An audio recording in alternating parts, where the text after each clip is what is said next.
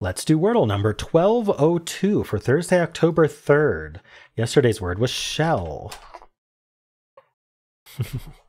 Cute. Hello. Yeah, she said hi. okay, nothing from shell. So, um, I don't know. I thought of drink. It's probably not a good one. All right, what are the really common letters we still need? T, R, N. So let's just do train. All right, ending in N, there's an A somewhere. Um, I don't know, I thought of the word pagan. I don't know if we've had pagan before. It would help find the A. I don't mind it too much. But I'm thinking about like AU here. I don't know what go, thinking about it, I don't know what go between that and the N. Really feels like we got to have a vowel right before the N, and, and the A makes sense. Or an O, something like that.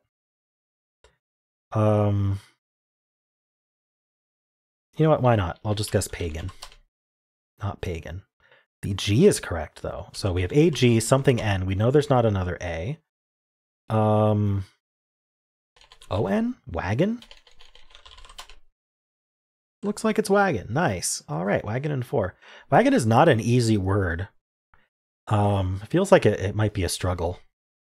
But yeah, I don't know. I don't know if it kind of, you kind of get forced into it. I don't know if you'd lose, but it might be hard to think of. So let me know how you did on that one.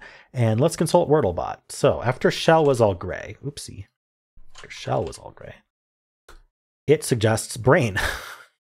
well, I wouldn't have guessed brain because it's been the answer very recently. Um, I went with train. And for some reason, it doesn't like train that much compared to brain and drain. There's 510 probable answers, so who knows why.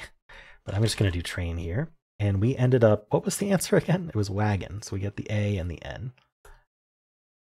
It suggests bacon or cannon. Um, interesting. Okay. And I did pagan. I don't think that's in the list.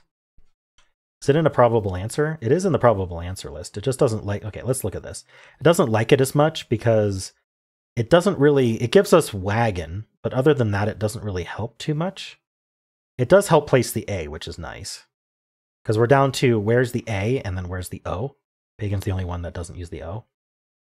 Um, but like bacon and cannon get everything because we get that C placement if it's there at all. And we get the AO placement. So makes sense, I suppose. So but I did pagan. We got that, and it does actually give us wagon right away. So it wasn't it was only not a mistake because or because the answer happened to be wagon. All right, so it would have done. Oops. Oh no. Let's just finish this and then we can cry all we want, huh? So we got brain here, and we're going to get the same thing with the A and the N.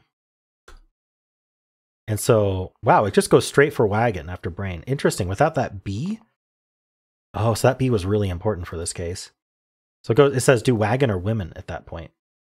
Very interesting. Okay, so it gets wagon in um, either three or four.